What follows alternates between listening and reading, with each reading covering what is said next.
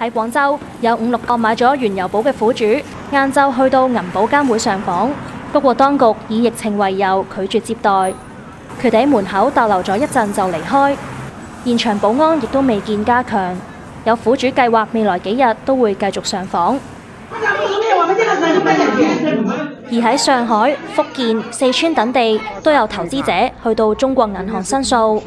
原油宝係中國銀行推出嘅理財產品，喺上個月初國際油價開始暴跌，原油期貨去到四月二十號，即係五月合約最後交易日嗰陣，更加跌到負數。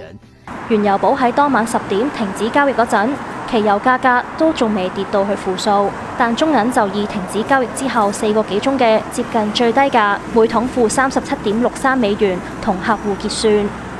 第一個你停止交易嘅時間是十一美元。然后你跟我实际交易的时间，这就是系统显示实际交易的时间，它是九美元。但是你为什么按负三十七美元给我进行结算？这是我们不能够接受的一个说辞。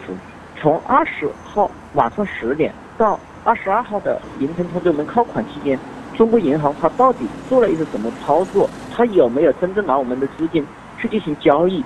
它这里面如何有没有保护、考虑、维护投资者的权益？希望有关部门。整個進行一個調查。伍俊係湖南益陽市政協兼律師，佢用咗大約二十萬買入一千二百手五月嘅原油保產品，最終要損失五十三萬離場。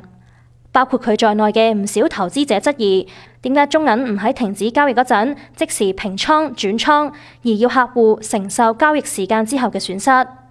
但是在這個過程中間，銀行實際上没有给我们平仓，也就是说，我们认为他们这个系统设置有问题。事件令遍布各地嘅投资者唔单止本金尽失，更加掉翻转头争中银钱。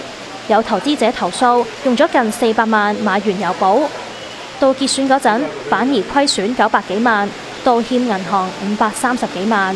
有内地媒体估计，投资者嘅亏损总额超过三百一十亿人民币。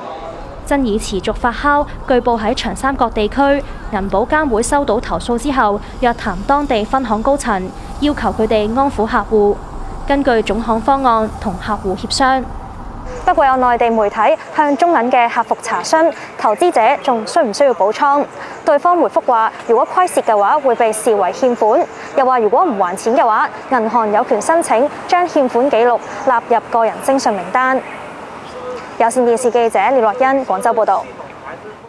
油市大跌觸發嘅金融危機唔處理好嘅話，越嚟越多投資者維權，可能都會影響社會穩定。咁但係咧，要處理危機，首先都係釐清責任啊。咁雖然咧，成日都話投資會有風險，咁但係今次唔少分析都話咧，產品嘅設計係有缺陷㗎。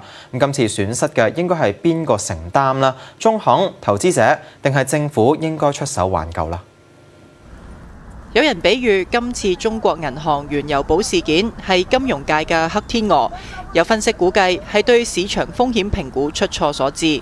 它這個風控啊出了一些問題，在這個輸掉保證金以後呢，就是按正常的這個操作的流程是應該是強制這個平倉的，但是因為他不了解這個市場，他認為原油期货的合約不可能跌成這個負數，啊，所以他猜測呢，我就是繼續加大這個空头。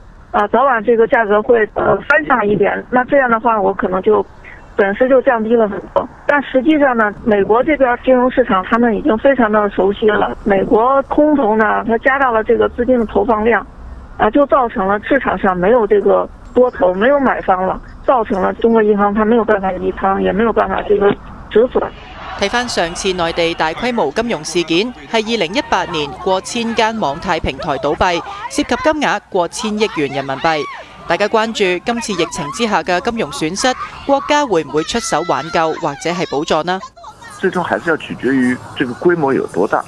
如果買原油寶產品的人不是特別多，金涉及的金額也不是特別多的話呢，我我覺得這些人可能會只能自認倒霉，因為他這個是一個產品嘛。P to P 因为涉及到很多公司、很多产品。